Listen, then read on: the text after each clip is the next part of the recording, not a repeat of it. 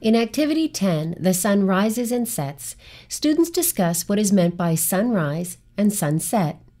They first model the rotation of Earth and identify rotation as the cause of sunrise and sunset. Finally, they infer from shadow changes that the sun appears to move across the sky. You will need the following materials from the kit Activity Sheet 10, yellow adhesive dots, D cell batteries, and a flashlight. You will also need to provide day sky and night sky charts from Activity 2 and a globe. To prepare for the activity, make a copy of Activity Sheet 10 for each student. Insert the batteries in the flashlight. Clear an area in the classroom where students can role play the rotation of Earth. To begin the activity, remind students that in the last activity they traced their shadows outdoors. Recall that the light came from the sun and that the sun is a star. Point out that the shadows they traced were made when their bodies blocked light from the sun. Discuss how the shadows changed size, shape, and position as the sun moved across the sky. Then ask students, what does sunrise mean? When is sunrise? Tell students that when something rises, it moves up. Sunrise is when the sun first appears in the sky in the morning and daylight hours begin. Now ask, what does sunset mean? When is sunset? Sunset is when the sun disappears from the sky in the evening and nighttime hours begin. Students probably have noticed that the sun appears to move across the sky. Next, ask students, where do you think the sun is at night? They may simply say that the sun goes down, it hides behind the clouds, trees, or buildings, or it sinks into the ocean. Accept all answers. Ask, why do you think the sun rises and sets? Some students may have heard that Earth moves around the sun and that it spins. Turn out the classroom lights. Have students stand facing you while you stand at one end of the room, shining a flashlight toward the students.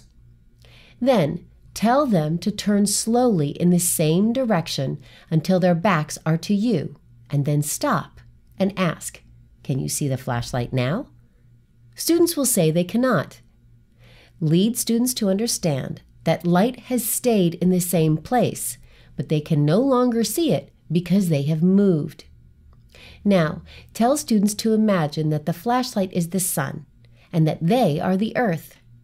Repeat the activity and ask Has the sun moved or has earth moved?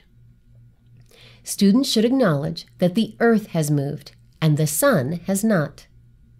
Tell students that Earth is constantly turning round and round, like a top spinning.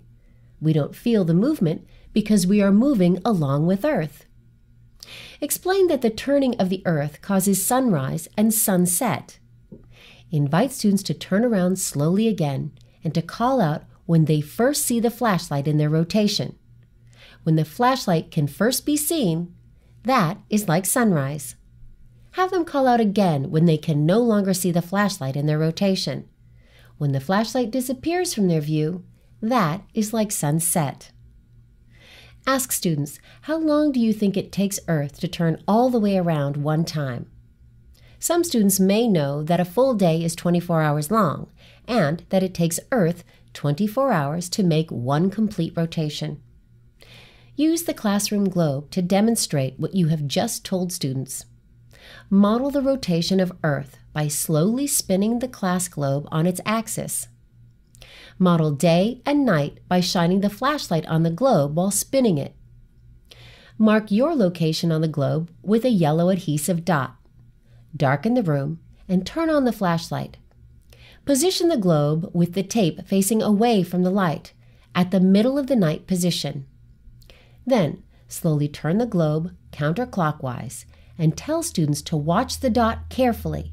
As the tape nears the sunrise position, the border between night and day, observe what is happening where they are standing. The sun is coming up and day is starting. Continue in this way, inviting students to identify the middle of the day, sunset, and nighttime again as you slowly turn the globe relative to the flashlight's sun. Because Earth turns counterclockwise, or from west to east, the sun appears to rise in the east and set in the west. Next, display the day sky and night sky charts students made in Activity 2. Ask students, why can't we see the sun in the night sky? Students should be able to infer that at night the sun is on the opposite side of the earth, out of sight. Give each student a copy of Activity Sheet 10. Have students look at the three pictures. Have students draw the boy's shadow in each picture. Students should recall that a shadow is on the opposite side of an object from the light source, or sun. The lower in the sky the sun is, the longer the shadow. So the morning and afternoon shadows should be longer than the noon shadow. Finally, tell students that in Activity 11, The Moon Rises and Sets, they will learn about another object in the sky that rises and sets the moon. To conclude the activity, return the flashlight and batteries to the kit. Leave the day sky and night sky charts on display. For science background, reinforcement activities, curriculum connections, and information about the Delta Science Reader, please consult your DSM Teacher's Guide.